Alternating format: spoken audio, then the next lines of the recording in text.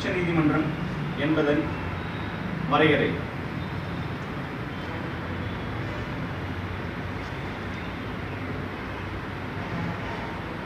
சரி இதில் இன்னொரு ஷார்ட்கட் இருக்கு. என்ன சொன்னது? ஃபர்ஸ்ட் அந்த பெரும்பிரிவை ஓரளவு பிரிச்சு நம்ம ஞாபகம் வச்சுக்கணும். திரும்ப பார்த்தீங்கன்னா உச்சநீதிமன்றத்தையே வந்து ஒரு மூன்று வகையாக பிரிச்சு ஞாபகம் வச்சுக்கணும். உதாரணத்துக்கு வந்து பார்த்தீங்கன்னா நூற்றி இருபத்தி நாலுலேருந்து நூற்றி நாற்பத்தி ஏழு வரைக்கும் சொல்லியிருப்பேன் உச்சநீதிமன்றம். இது எப்படி பிரிக்கணும்னா நூற்றி இருபத்தி நாலுலேருந்து நூற்றி முப்பது வரைக்கும் நீதிபதிகளை பற்றி இருக்கும். நூற்றி முப்பத்தி ஒன்றுலேருந்து இருந்து நூற்றி முப்பத்தி ஆறு வரைக்கும் வழக்குகள் இருக்கு இல்லையா?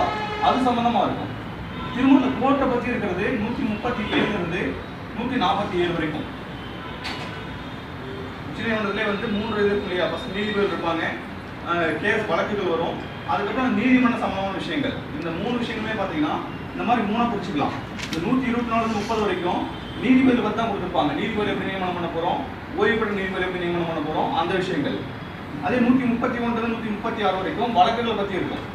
அதாவது நேரடியாக வந்து உச்சநீதிமன்றம் போகிற வழக்குகள் அதே மாதிரி வந்து சே- அரசியலமைப்பு குறித்த வழக்குகள் குற்றவியல் வழக்குகள் உரிமையல் வழக்குகள் சிறப்பு அனுமதி வழக்குகள் அந்த மாதிரி இது எல்லாமே வந்து வழக்குகளை பற்றி இருக்கும்.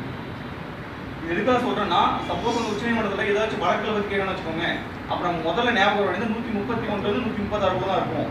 அது ஞாபகம் தான் இருக்கும் டக்குன்னு ஆன்சர் பண்ணிடலாம். அந்த ஒரு விஷயம் தான் இதையும் போட்டு நம்ம இது எல்லாமே சேர்த்து குழப்ப தேவையில்லை. புரியுதுங்களா அதே மாதிரி கோர்ட்டை பற்றி பேசுறது நூற்றி முப்பத்தி ஏழுலேருந்து நாற்பத்தி ஏழு வரைக்கும். அது நீதிமன்றம் வந்து மறு மறுபரிசீலனை செய்யலாம். அதே மாதிரி டெல்லியில் உயர் உச்சநீதிமன்றம் இருக்கும். அது எங்க வேணா வந்து மாற்றலாம் அந்த மாதிரி நீதிமன்றத்தை பற்றி பேசுறது நூற்றி முப்பத்தி ஏழுலேருந்து நாற்பத்தி ஏழு வரைக்கும் இதெல்லாம் சின்னதாக எழுதிக்கும் ஷார்ட்கட் மாதிரி.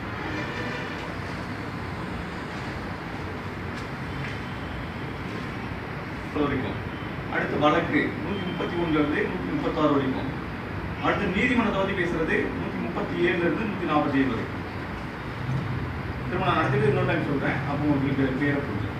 இது மூணுமே உச்சநீதிமன்றத்தில் மட்டும் ஏன்னா உச்சநீதிமன்றத்தில் நிறைய விஷயம் இருக்கு இல்லையா? வழக்குகள் இருக்கும் நீதிபதிகளோட நி- நியமனம் இருக்கும்.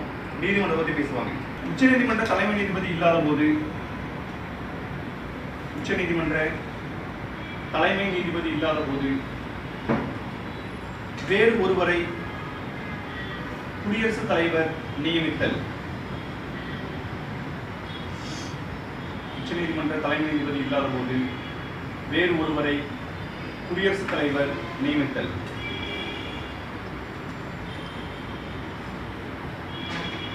இந்தியாவோட உச்சநீதிமன்ற தலைமை நீதிபதி யாரு? தீபக் மிஸ்ரா இப்போ திடீர்னு ஒரு வெளிநாட்டு பயணம் போயிடுறாரு. இல்லை அவருக்கே வந்து உடல்நிலை சரியில்லை.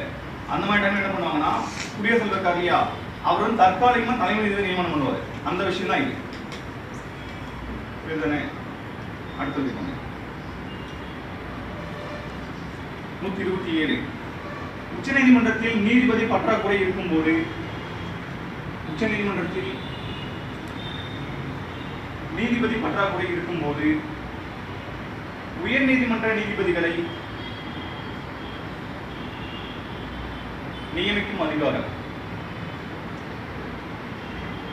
உச்சநீதிமன்றத்தில் நீதிபதி பற்றாக்குறை இருக்கும்போது